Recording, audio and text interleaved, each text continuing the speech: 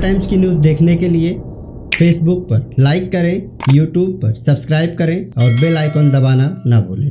मैं इस्लामुद्दीन खान और आप देख रहे हैं प्रहार टाइम्स अपने ही पैसों के लिए एक महिला अपने बच्चों के साथ दर दर भटक रही है। महिला डेढ़ लाख रुपए लेने का आरोप अपने ही एक रिश्तेदार आरिफ सत्तार पर लगा रही है। दरअसल 2005 में अफसाना नाम की महिला अपने पति, वकील अहमद और बच्चों के साथ नेरुल में रहती थी, जहाँ इनका घर था, वो पहाड़ी इलाका था और बारिश के दौरान पहाड़ से चट्टान खसक कर इनके घर पर गिर गया।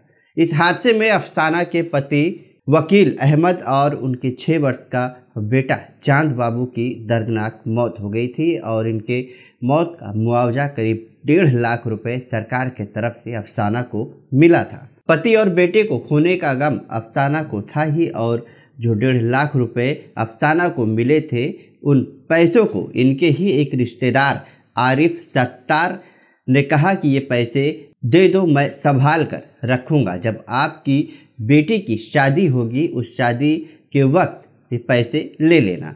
अफसाना ने रिश्तेदार की बातों पर यकीन किया और डेढ़ लाख रुपए दे दिया। मगर अब जब उसकी लड़की का विवाह एक महीना ही बाकी है और अफसाना जब आरिफ सत्तार से पैसे मांगने लगी तो आरिफ सत्तार ने पैसा देने से मना कर दिया। ऐसा आरोप अफसाना और उसके दूसरे पति सब्र आलम ने लगाया है। अफसाना ने यह भी बताया कि आरिफ कभी कहता है कि पैसे दूँगा, कभी कहता है कि तुम्हारा पैसा जो मिला था वो सरकार ने वापस ले लिया।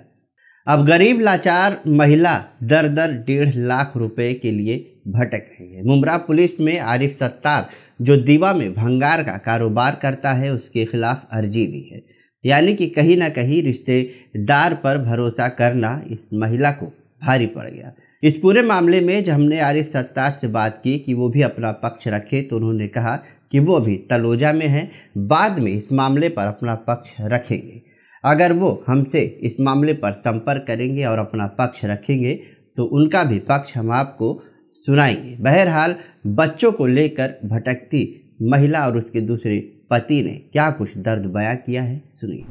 वो इनका मामला ये वो चाबी तालक धंधा करते थे। वो एक पहाड़ के बगल में उनका मकान था। मकान वो पानी बरसने से पहाड़ खसक गया। उसमें एक बच्चा और इनका वकील अहमद वो मर गया उसमें। अच्छा, हाँ और गवर्नमेंट उनको डेढ़ लाख रुपए मदद किया था।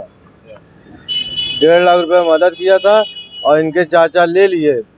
बोला मेरे पास पैसा रहने दो और ये तुम्हारी लड़की शादी होगा तो मैं पैसा दूँगा।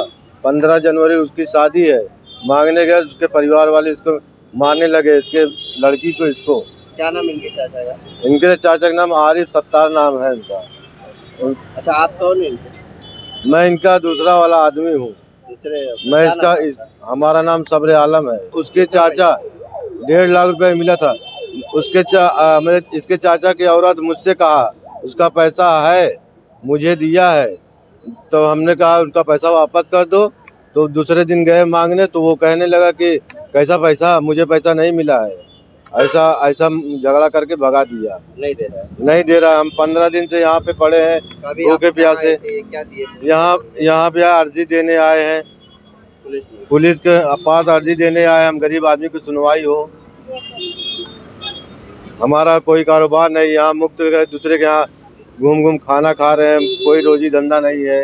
कैसे हम रहेंगे? गाँव से आए हैं। आप क्या बोल रहे हैं कि ये खाते में नहीं है कि इसके शादी के नहीं होता है और कहते हैं कि पैसा देना चाचा से। बोलता है कि चाचा कहा थे पैसा ऑफ़िस हो गए हैं। और दोबारा चाची के लगे गए तो कहा थे पैसा मिला है। तो फिर कहा थे गए हम सब उनके रूम पे तो चाचा कहा थे कि पैसा ऑफ़िस हो गया तुम पागल हो। तुम पागल हो। यानी जो मुआवजा मिला था बोले वापस वापस हो गया है। तो दो जगह तीन रात भाई फ़ोन लगाए ना उठा नहीं है। हाँ। तो देने की बात नहीं कर नहीं। एक रुपया भी नहीं दूँगा एक रुपया नहीं दूँगा।